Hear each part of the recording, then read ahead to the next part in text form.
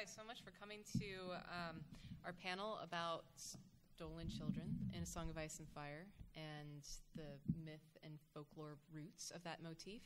Um, we know that we're competing with the spotlight on the Game of Thrones actors, so you could have been so many other cool places, but you chose to be with us, so thank you very much. Um, I think we'll, we'll uh, introduce ourselves first. Hi, I'm Mary, Maester Merry on Twitter, up from under Winterfell on YouTube.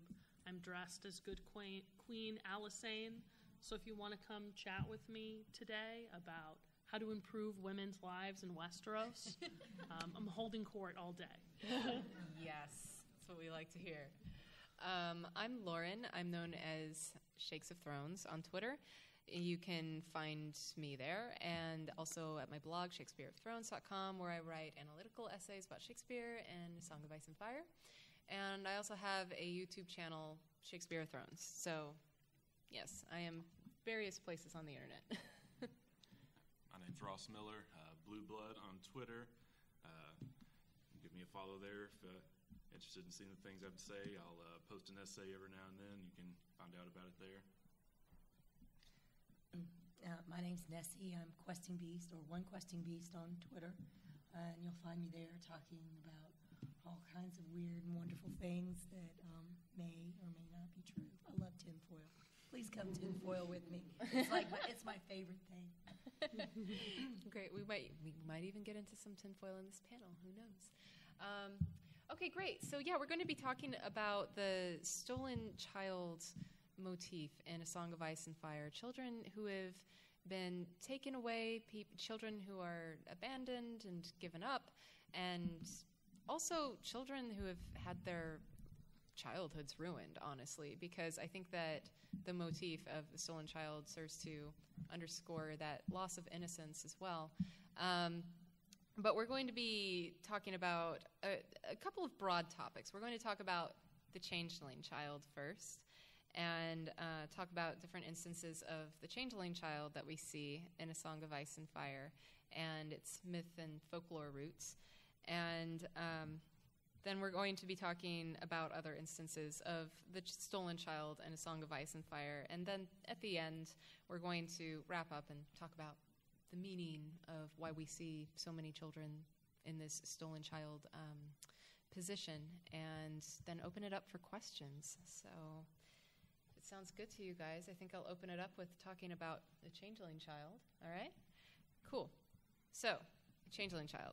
It's a um, figure commonly present in European folklore and myth, and it's basically rooted in the idea that fairies took human children and replaced them with fairy ones. It was often used as an explanation for why a child was sick or disabled.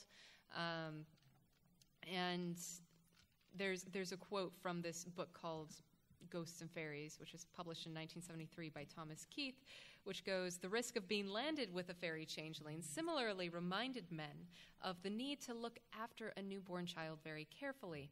A moment's neglect might be rewarded, rewarded by the substitution of a fairy child.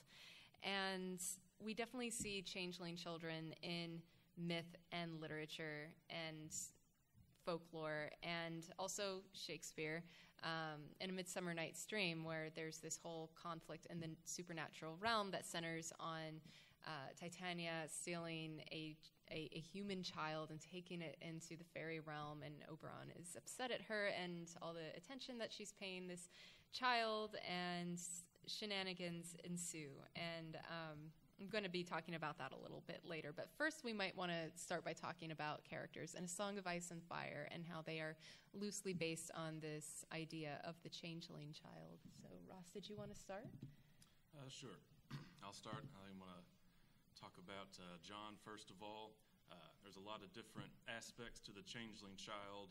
Uh, some of the uh, the darker aspects of it is that the changeling child myth was used to justify uh, getting rid of children sometimes that you couldn't afford to support.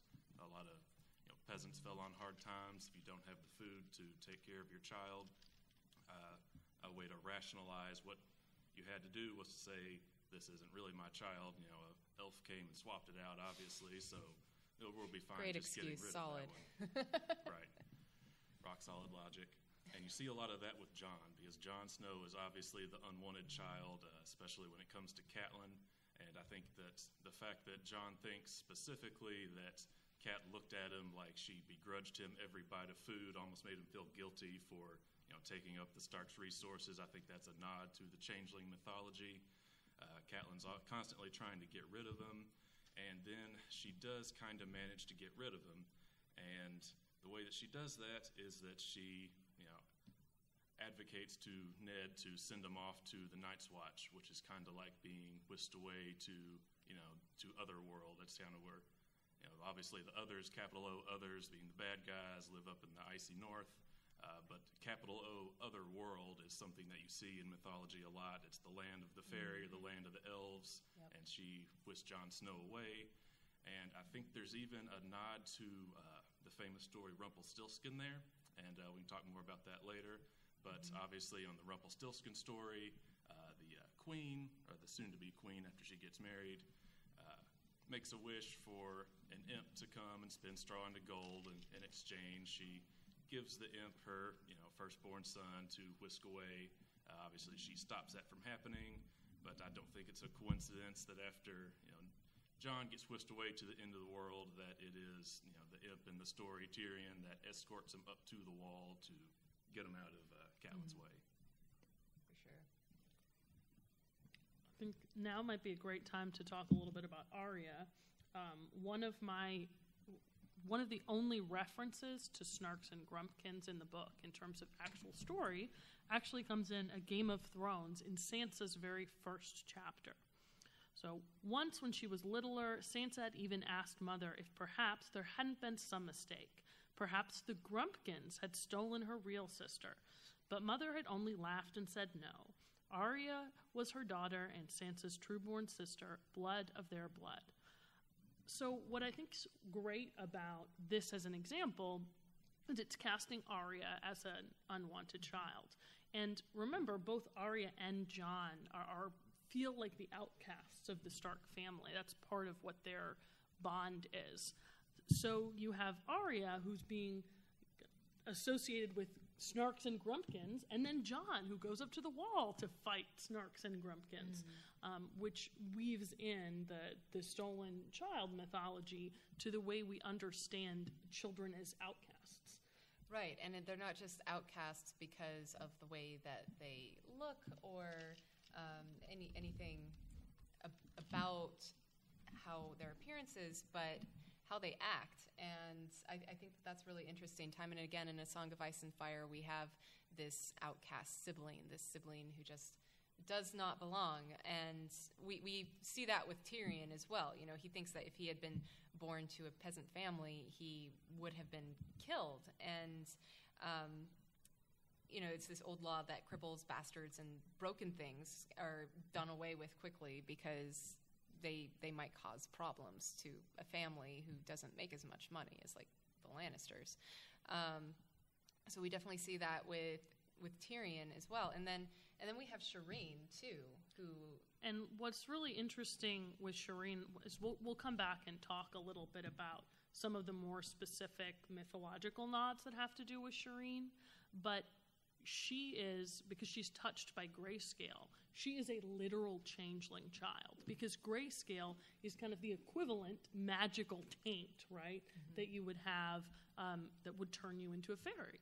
And beyond the wall in the north, Val um, complains about Shireen being alive because if she were born in a wildling family, they would have exposed her, exposed her, and left her out to die. Um, And when later, when we talk about Shireen's sacrifice, it becomes really interesting to see how she is also set up as a magical changeling child because of the grayscale affliction.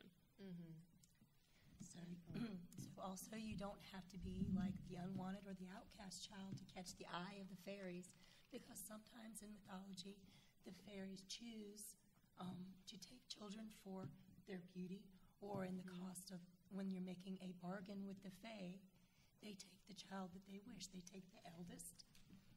they request the eldest child, firstborn child, It's generally a cost. that is paid for power to with you make a deal with the fairy.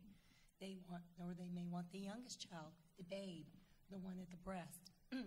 There's also the child that is the most interesting, to be an interesting child, different. You catch the eye of the fairy. Or the most beautiful, like the beautiful child, which would be Sansa. The wicked witch wants the most beautiful child to take away. So there's many ways that you can catch the eye of the fairy or the monster in the story and be taken away. And these are all indicative of all of the Stark children because they're all taken and stolen away by one of these or for one of these reasons. Yes, absolutely. Um, and we have, of course, Craster's sons who are given, Given away.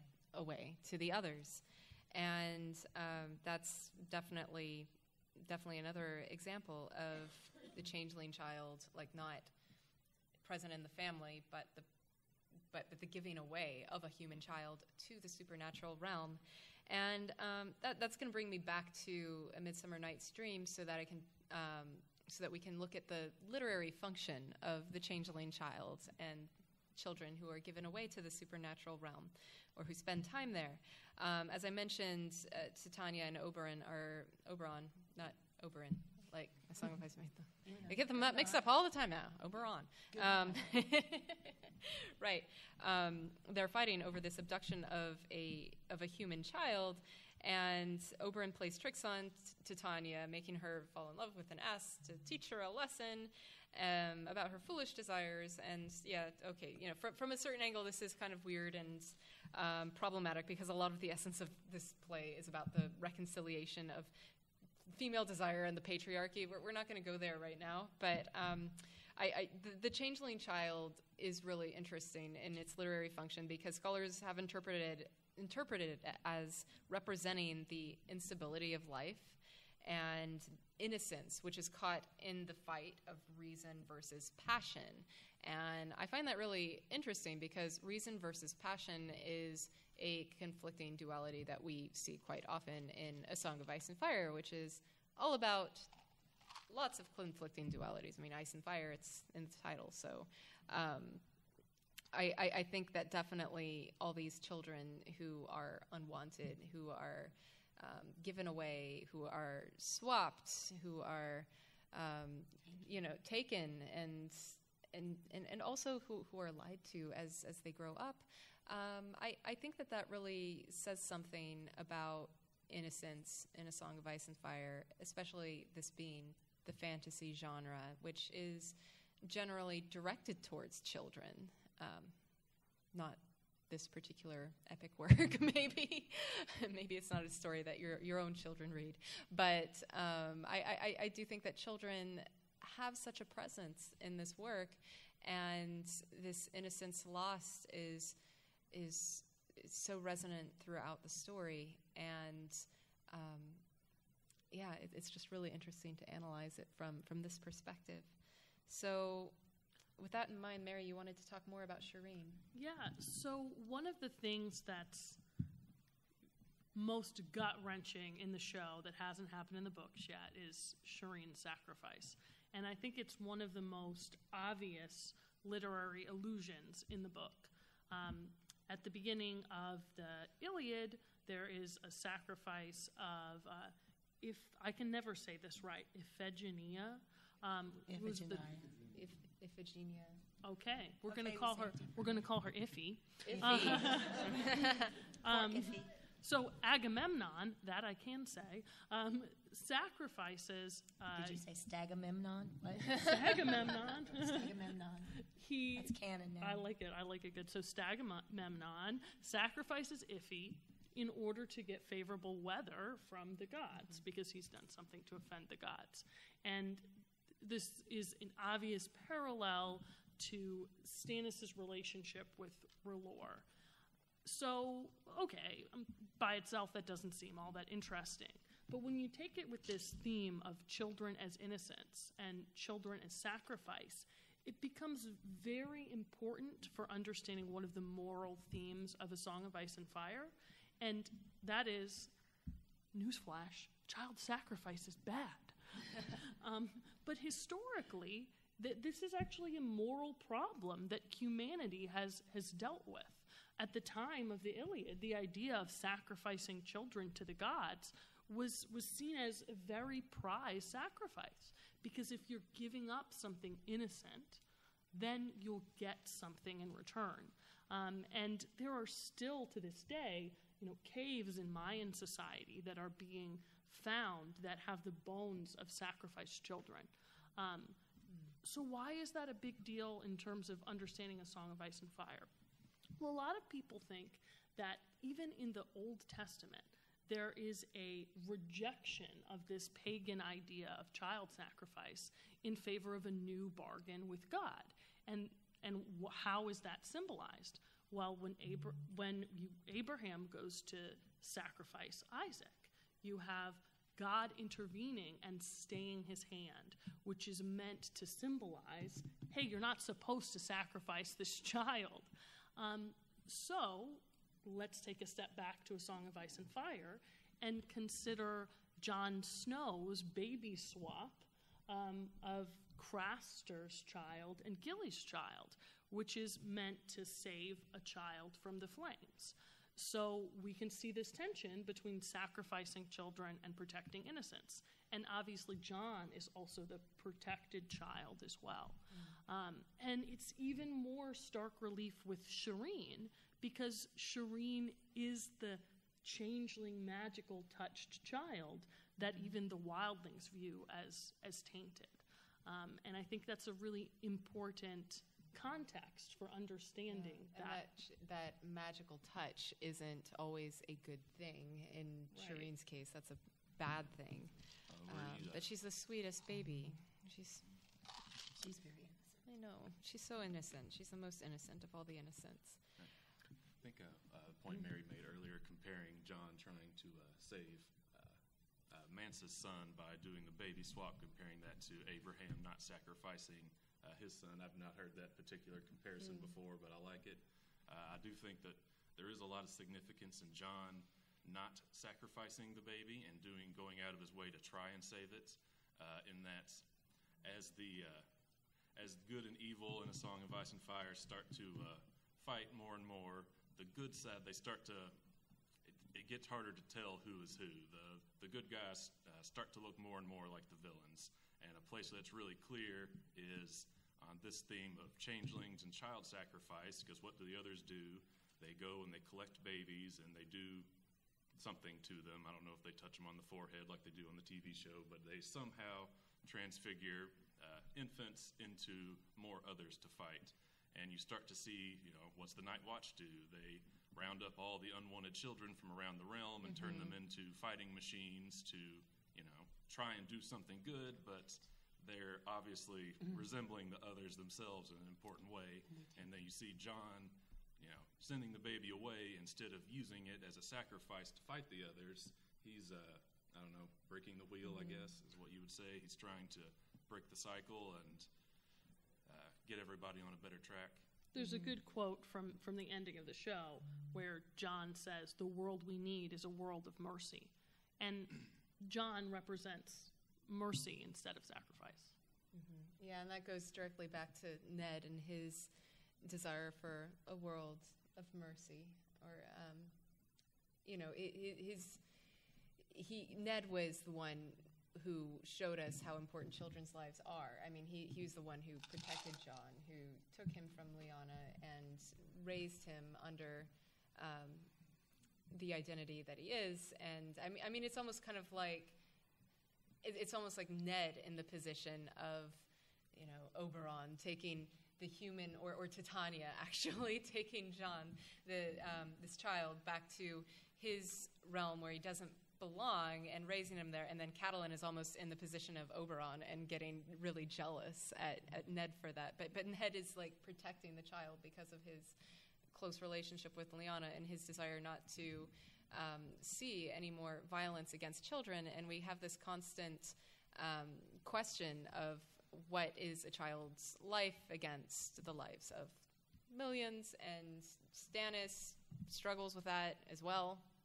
And I, I, I think that it's it's interesting how this motif interlocks with character conflicts throughout the story and uh, the greater themes that we see. But Uh, moving on to our second topic, I, I think we've already done that a little bit, talking about other instances of the stolen child in in folklore and in a Song of Ice and Fire. Nessie, I think you had some some things to say about that. Yes, well, one of the interesting things that I noticed was we have these figures who are traveling throughout the kingdom, gathering children. We have, as Ross pointed out, we have Yoren, who is a, if you just go by how he looks, he is a hunchback, foul mouthed, dressed in black, not very pleasant looking man who is going from north to south, south to north, gathering all of the bad children um, to take them north. So he, in my mind, of course, he's a, he's like a monstrous figure with a good purpose. But he's trying to save these children, but yet do they really want to go with him? No. Do they have a choice? No, because basically they're the dregs of Flea Bottom that have nowhere else. No one wants them. Mm-hmm. They are the most unwanted children in King's Landing who may have done like petty theft just to survive. So they get to travel, yay, north to the wall where they give up nothing but their entire lives to serve the realm that never wanted them. So Yoren is, in my mind, like a Krampus figure who comes and takes the naughty children away to the land of winter or the underworld to live in his creepy ass cave. so, yay, Krampus is in there. Also, we have, oh, our friend Jaime Lannister, who once, of course, the Riverlands have been subdued after the War of the Five Kings, is tasked with um, one relieving uh, the siege of Huron. But on his way through uh, the Riverlands, he's gathering all of these children as hostages from the River Lords that have uh, revolted from their crown. So he's gathering all of these children. Um, sometimes it's the favorite child, sometimes it's the only child, sometimes it's the not wanted, not wanted child. In the case of um, Hoster Tully, uh, no, Hoster, I don't, um, Blackwood, Hoster Blackwood. He's one of my favorite guy, one of my favorite kids in A Song of Ice and Fire. Hoster, uh, I swear he's Stunk's kid. Um, Hoster Blackwood, who is like not the favorite child. He's the gawky middle, second, third son who's so bookish that his father's like, take him, take him, not my little girl, take him. So yeah, Jaime is gathering all of these children to take to Casterly Rock, which is like this great cavernous underground system. So mm-hmm. it's pretty cool. So he's going to take all these children to the underworld. Yeah, and you well. were you were thinking that there's some mm-hmm. Pied Piper a similarity in the there. Pied Piper of Hamelin because what happened when they had, it was an actual event, the Pied Piper that was based on, where after a huge war in um, the Germanic states, there was so much open land and there had been so many people that had been killed that the winners of the war wanted to resettle these areas. So they would go village to village, and the Pied Piper, these were actual um, recruiters that were paid per person that they could take and they would move whole villages like whole generations of young children or young young adults were moved out of the villages to settle these lands that had been devastated by war. So that's where the legend of the pied piper comes from. He sings all these makes all these promises how this is going to be so great but actually he's just being paid to say these things and take your you know take these um, young adults young children 13 14 year old people away That's where they never see their Yeah. families again Yeah, it's, Nessie, it's so interesting in the context of the Night's Watch being baby stealers because that that puts the relationship between um, Craster and the Watch in a whole new perspective. You know, Jon is so outraged when he finds out that Craster's children are being sacrificed, but it's not a big deal to the Watch. You know, Mormont has known about it the whole time, and and you know, in the context of what you're saying about Yoren, it's not surprising at all because the Night's Watch there's have so probably always been baby stealers, um, and Snarks and Grumpkins Snarks and too. Grumpkins. Um, their association with Northern lore makes it even it makes that feel like an even more strong connection Yeah. to explore. Yeah, it's interesting how it's all connected within the story that we're reading, A Song of Ice and Fire, and how you can also find all these connections in uh, mythology and folklore, like the Pied Piper and in Uh, Midsummer Night's. Dream. And Hansel and yeah. Gretel is a big one where yeah, you have these two unwanted children that the stepmother no longer wants. Hey, I'm sorry, cat. You did nothing wrong, but in this, you know, you did have this kid. Anyway, so the, the, you're giving the unwanted children to the monsters in the woods. You're leaving these unwanted children out, basically exposing them with no food, no water. We can't feed them. Go into the woods, and you're supposed to die. So, um, yes, they find their way, of course, to the monster who, um, you know, acts in this case like you know, they're taking in the children. I'm so good. They're fattening up the children so she can eat them. So many of these fairy tales, they're more like horror stories to me than uh, the kind of thing that you tell your child at night. And and there is so much horror in A Song of Ice and Fire too. You're telling your children, don't go in the woods because you will die. Yeah. Yeah. Um, I, I don't know if any of you listen to to Nauticast and uh, Poor Quentin and, and Brynden B. Fish, but one of the things that Poor Quentin says is that the, the essence of horror is not that there are monsters um, at our door, it's that we're going to let them in. And I think about that a lot with um, with the monsters that we see in A Song of Ice and Fire, and with the, the human ones and the non-human ones. So um, definitely pertinent to this topic as well as we're connecting it to fairy tale and the monsters that we see in fairy tales. And um, speaking of fairy tales, Ross, you have some connections with Rumpelstiltskin that you wanted to talk about as well. Yes. All right. So, as was mentioned earlier, uh, there seems to be an element of Rumpelstiltskin that you can spot in the subtext of A Song of Ice and Fire, and that uh, the form it takes is you will see uh, a woman. I've probably talked about Catelyn. She's got the best example. You'll see a woman who will make a wish, pray to the gods for something, and then they will get their wish and they will lose a child for it. And you have to look carefully, but if you know what to look for, you can spot it. And the first example that you get is Catelyn. And very early in the story, she wants what she wants to happen is she wants to keep Bran in Winterfell. So when Ned and Catelyn are arguing about who's going to go to King's Landing and who's going to stay in Winterfell, and obviously Jon gets sent away to the Wall, which is what she wants. She wants to keep Bran in Winterfell, and Ned wants to take him south to King's Landing, and Catelyn agrees to it then. But what we find out later, when Bran falls from the window and hurts himself, he winds up staying in Winterfell, and so Catelyn got her wish. And when she's crying over his body, Jon walks in. And she says to Jon then, I prayed for this. She that's the we don't see it happen, but she tells us about it afterwards. So Catelyn prayed to her gods to keep Bran in Winterfell. And she says exact words, you know, sometimes prayers are answered. So Catelyn got her prayer, and she then turns to Jon and says the famous line, you know, it should have been you. Like she wanted to sacrifice Jon. She wanted to get rid of him, and she wanted to keep Bran. And that is what wound up happening in a way, not the way that she wanted. But uh, yeah, and then you see obviously Jon head north with uh, Tyrion the imp. Uh, I forgot to mention this earlier, but on the way north to the wall, there's a telling scene where uh, I think Tyrion is uh, mocking Jon, saying something mean about the Night's Watch, and Ghost comes out of nowhere and tackles him. And Tyrion says, "Why did he attack me?" And Jon just kind of, as he's walking away, says, "Thought you were a grumpkin." and Tyrion admits, "Oh, I guess I do kind of look like a grumpkin." And then uh, I think Sansa compares him to a grumpkin a couple of times later. Uh, so we're definitely meant to associate those two things.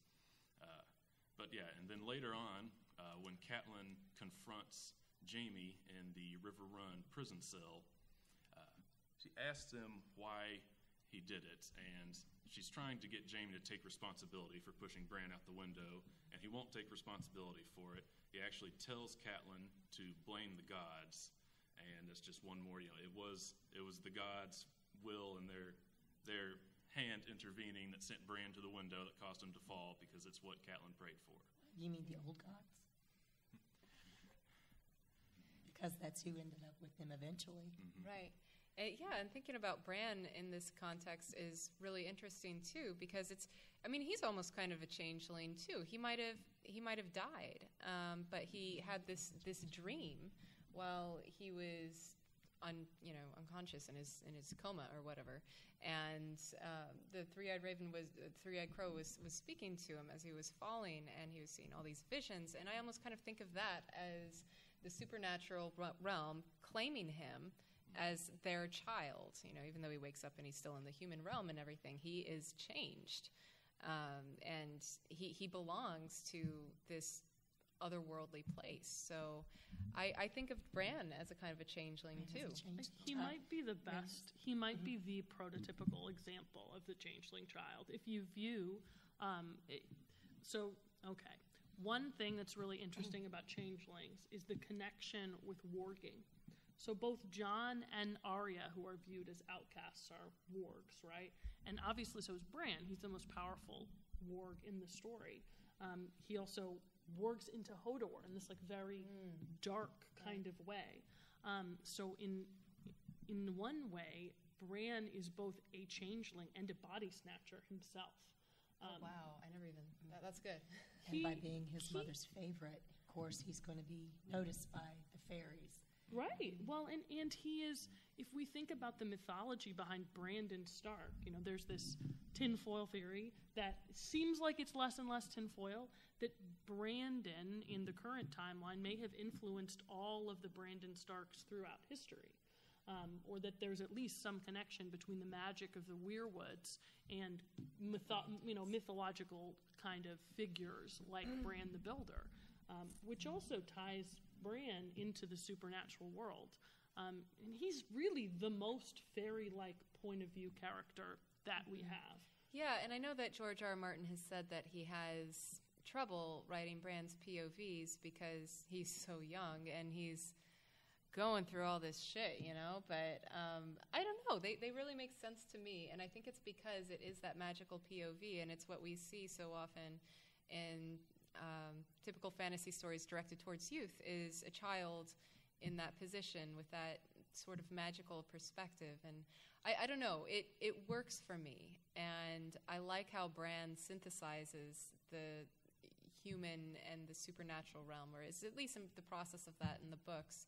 And it's also why i just love that he becomes the king at the end which is, is going to happen in the books all right you guys it's going to happen and it's to me it's like the triumph of the fallen child the fallen innocence it's it's like growth into something else it's you, you- you don't regain that like um, i don't know to it's me a stolen childhood too, which is one of the other topics that we have. Bran's childhood is absolutely stolen. When he becomes Mm-hmm. Bran the Broken, his dreams of becoming a knight are stolen.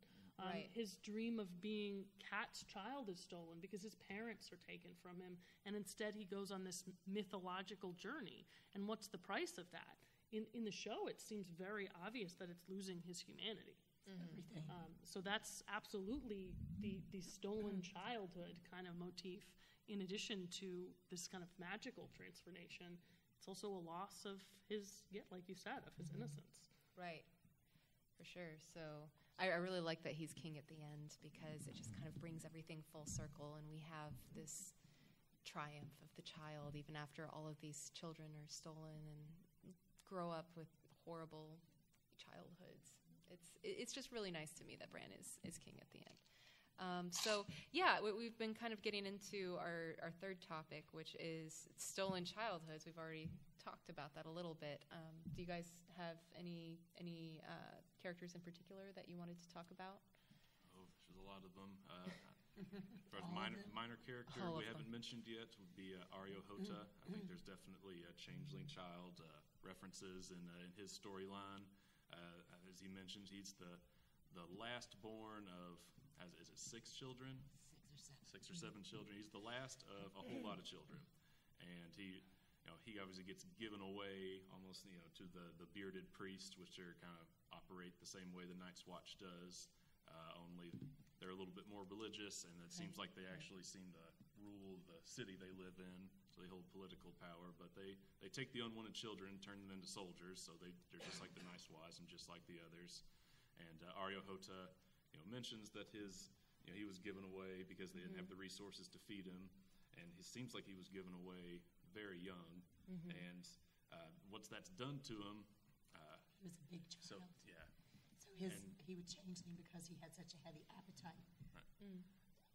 And uh, so Arya, he didn't get a proper childhood, and you can see that in his point of view chapters. Uh, people have referred to him as the, you know, the human camera. It's almost like he just reports exactly what he sees and has no feelings about it. Uh, everyone he meets, he's thinking about how he can kill them and how the fight will go. Uh, he's almost robotic. He's just a Terminator. It's you know he's Yeah. Yeah, and it's interesting to see how these traumatic childhoods inform your adulthood and and the kind of person that you become. And everybody becomes everybody is different. Everybody experiences internalizes these experiences differently. So yeah, that's definitely um, how Areo Hotah is affected. Um, a character that I think of when I so, sorry, Nessie, did you want to chime in? Well, with I was just going to play off of this because there's also the Red, the Red Temple, and Thoros of Myr, and also Melisandre are both children that were given away, stolen, slaved, and sold to the Red Temple, yeah. who have their entire life devoted to the Red Temple, whether they want to or not. And then, of course, as they reach adulthood, they are in, in essence repeating these same patterns by, you know, Melisandre trying to, excuse me, taking children for sacrifice and burning, and Thoros gathering these other unwanted young men, boys, Riverlanders, uh, in the Brotherhood without banners, living in their little underground cave system. So he's taking in all of these other unwanted children. so Right. it is a pattern that repeats from in, in childhood in through adulthood. Right.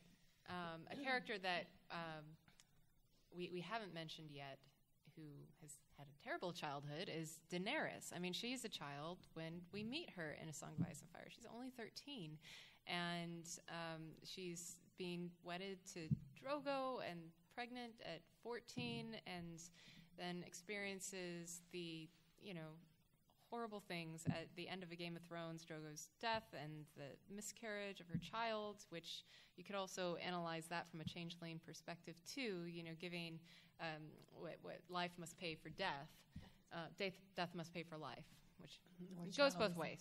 Yeah. magic.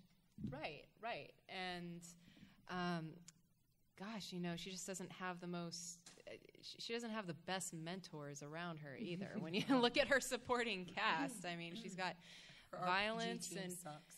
yeah, yeah, it really does. I mean, honestly, Mirri Maz Duur is one of the better ones, and she's still extremely violent. And um, I, I think that Daenerys, even though, even I have a tendency to like want to age her up when I'm reading, just because it is so hard and painful to read this and think of a 13 year old, but it's also really important to her character growth and her um, and and her arc, knowing that she's not a, a fully formed adult in She's her brain yet as she's experiencing all of this and she's internalizing it. And it's not just going to be her actions that um, foreshadow what's what's going to happen in the books to come, and you know King's Landing, which she'll probably eventually burn a little bit similar to how she did in the show, maybe with a different path leading to it and um, different context. But I, I think we're supposed to consider that that uh, ruined childhood, that that trauma that she experienced early on, and how that's shaped her, how that shapes her into a semi-adult. I don't even think she's going. She, she's going to be like 16 by the end of the series, so she's not even at adulthood yet. Yep, married at 13, widowed at 14, I think Poss- George. Uh, gone by 15, I think he's doing something where he is uh, criticizing the uh, the way that people do things, where they give up these kids to uh, you know to make peace. Uh, another form that I think this takes is uh, children that die in, uh, in order to end a war. And uh, Daenerys would be that. Her and Viserys, obviously, they got away, but they were exiled. And you know, the peace at the end of uh, Robert's rebellion was built on their suffering. And you know, Daenerys is going to come back, and she's going to you know, play a role in burning down King's Landing. And I think George is saying, you know, does peace at the cost of these children? Is it really doing anything good? And he repeats that a few other times, like with Theon. Theon gets snatched away in order to uh, bring peace at, uh, to the end of uh, Balon's rebellion. And what's he do? He comes back to Winterfell, and he doesn't burn it, but he definitely plays a role. He sacks it, and then it gets burned as a result of that. And so he's criticizing the Miller sons. right, Ned and, and Robert and their way of doing things and you know stealing kids to make peace is that these kids come back and then they burn your house down and maybe we should stop abusing kids to you know end these wars this way. Mm-hmm. I think one of the things that's really interesting about Theon is his identity conflict between being a Stark and a Greyjoy. You know, you see that in the show, and you see it in in the books, where part of the aspect of him being a, a changeling is his own identity being unfixed. Right. Um, and it's interesting because he also visits trauma upon Bran and Rickon. Um, I mean, he because he expels them from their home. He doesn't actually kill them, right? Um, but that's a really interesting example of the abused or the victim then becoming a perpetrator of violence. Right. Um, and I think it, an interesting question will be how will that cycle of trading kids um, to end wars be broken? And if Bran forgives Theon like he does in the show, and Theon ends up having this kind of heroic defense of Bran due to Bran's mercy for Theon, I think that's a very powerful example of breaking the the cycle of the stolen child. Yeah, especially considering that Bran was the one, like, I don't know, he's being pushed out the window. It feels like the original sin of the series as as we know it, as we're reading it, and then he's the one to grant that mercy. It's Right. very powerful. Questions? Yeah, yeah. I think I think we're at question Got time. Two minutes now. Yeah, Stephen, go ahead. Um, I guess there's about four different questions I could ask. I'll, Well, you know all of us, so you can ask us later. uh, later. Uh, I, I, I guess I've seen a lot of parallels in everything you've been talking about and the Unsullied, they're Mm. They're also st- and yes. humanized and castrated into that, which I'm interpreting as a changeling type of Yes, episode for them. changed. Um, so I guess this, this theme is a lot more prevalent than I gave it credit for originally. Mhm. But I guess my real question is, George tends to want to take a, a, a trope or, or, or a theme and flip it on its head. And can you can you think of an instance where, where George is running counter to, say, the traditional interpretation of the stolen child? I I think one example is how he will have the victims become the perpetrators. Mm-hmm. Like I think he is and, and I think for example, if Theon ends up being redeemed, I think that will be a- little bit of an inversion of the of the changeling child. Um, it, the same thing with Jon ending up giving mercy for for Mance's son in the baby swap as being playing out the same thing that happened with Lyanna. Um, I think that's another example of him him kind of playing with the trope because it's he is intermixing the themes of mercy and the themes of vengeance into the the kind of stolen child mythology. Yeah, I think that it's just more of a really deep exploration of all the problems that, that come with um, the stolen child and, and the changeling child and um, giving a life for another and uh, all that innocence lost. I mean, we, we I don't know. I, I just don't even know if fairy tales go to they, they don't go into as great depth as this work does. I mean, how many how many pages is it? It's like a million pages or something like that. So of course we're going to get a lot more depth. And right, right. Of course we're going to get a lot more more depth and exploration of these themes, and I, I think that a lot of it is um, directed towards adults. Of course, we're adults who are reading the series, and um, the lessons that we're supposed to think about, or the questions that we're supposed to think about, is yeah, what what is worth? It, how how much is is uh, is war worth the cost of it? I think that's what it really comes down to, and it's not just a one answer question. There there is so much depth there, and that's what I think the beauty of this series is: is that we can have so many questions and so many different answers, depending on the context. he realized his way to get to the throne. And that's the story we see about. Yeah, that's really interesting to to think about Varys in in that context too. I mean, gosh, you could just talk about Varys is every single stolen character. I know, I know, Who and the, steals all the little children of Westeros? and and he was in the That's the Mummers cuts out their troop, so tongues. Ugh. Uh, as a child, and it's almost like they're kind of in that position of the the, the supernatural realm, like claiming this human child, and then Um, and then and then him and his little birds And too. then- So And allegedly doing a baby swap. Well, and that's him visiting the trauma that was visited on him. the trauma, Yeah, yeah. he was a stolen child. Now he's stealing, other children. children He was cut. Now he's purposes. cutting. hmm yeah.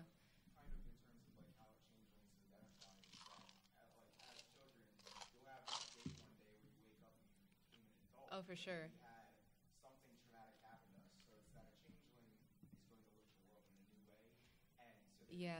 they can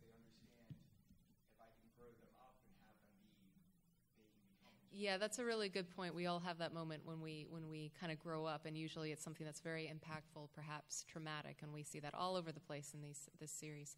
Um, yes. Uh, so one character that you haven't um, spoke of and is a stolen child and a changeling is Arya. Oh, yeah. Was literally taken from. You know, Yes. I, I, yeah, I, I was actually thinking about that. We, we we did talk. Krampus got her. Yeah, we we did talk about that one quote from from Sansa about her possibly being stolen from the Grumkins Yeah, and, and, and everything, but we didn't even talk about her going forward and in her arc and She's a faceless man, hmm not a faceless girl.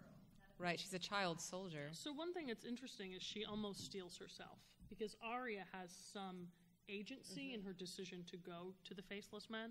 Now she doesn't have agency in the way that she's. I mean, it's like I I think you can you can look at. Um, I, I think what's interesting is that her story is, is complicated, right? Um, she's driven from her home, and like all the Stark children become stolen children.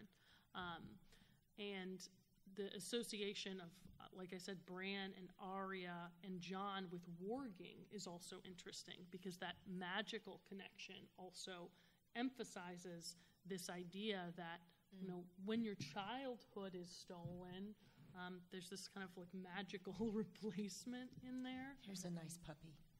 Yeah, yeah. Here's a nice, here's a nice puppy. It might steal your soul. Okay, one more question. I, I think so. The other Possibly example is to bring in the Blackfire connection, the the piss water Prince, right? So you have that this this mystery over whether or not you know the Aegon is actually Aegon. And I think what's delightful about that is here's George throwing another wrench in there where there's a, a fake baby swap. Um, Right. I think that ties in with all the baby swapping that you see. It's not just baby swapping, but child swapping, or one for a life for a life. Yeah, it's that idea of cost, right? Cost. And George loves to make us wrestle with every action, even a good action, having a complicated consequence. Um, and and that's the like one of the things I think might happen in the Winds of Winter, right? Is sure we took uh, Mance's baby Right, away from the wall, but what's going to happen Right, to to Gilly's monster. baby? I know what's going to happen to Gilly's baby. Well, and And a Monster. No, there's a great example of a changeling child name. called A Monster. child named Monster. Monster. You know. I right. mean, ding, ding, ting, right on Okay, the I, we have one more minute. I saw a question back here. Yes, please. I was gonna say, what do you believe about the Lord's right the first night and the creation of bastards to be sent to the wall? Would that be like purposely giving one of your children to see like a better future by letting that happen? Is that why it was created? Yeah, Goodness, I so- tend to think so. Yeah, there's that. Uh, somebody pointed out that one of the castles on the on the wall is called Snowgate. You know, capital S, and then there's the you know the uh, was it the the Black Gate Black where you, know, you literally. You know, It's a you, sacrificial you, gate. You get fed to the north, and yeah, I think Yeah. that there was probably a, a yeah, the- need the- for some the- child sacrifices. Right, the first rites probably did create, would have created a lot of highborn bastards, which would have been unwanted children, which would have been great candidates to send to the Night's Watch to keep them well manned. You know, we know in the by the time the story rolls around, there's not very many Night's Watchmen left. There used to be a lot more. Uh, maybe the fact that the first Right used to be more common is how they kept their ranks up in the past. Right. And uh, the highborn bloodlines tend to be the more magical, Magical ones too. bloodlines. And so you have the you know more wargs, more giant umbers, more you know little children of the forest blooded. Yeah, like the uh, Marsh King. re- the reeds running around. King. Yeah. They were kings that would feed to the wall too, because they were kings in the north. Well, and the, More than the blood of the first men is the blood of the wild things too. This is one of the Right. i- important things we learn in Jon's journey past the wall. So uh, the Night's Watch steals wildling children. That's how Mance came That's how over we to get the Mance. wall. Um, and I think that there's there's an interesting connection there as well, like Yeah. everyone is saying with the magical blood and the first men blood elements. Well, we could go on, but we are at time now. We are past time. So thank you for being such a great and engaged audience.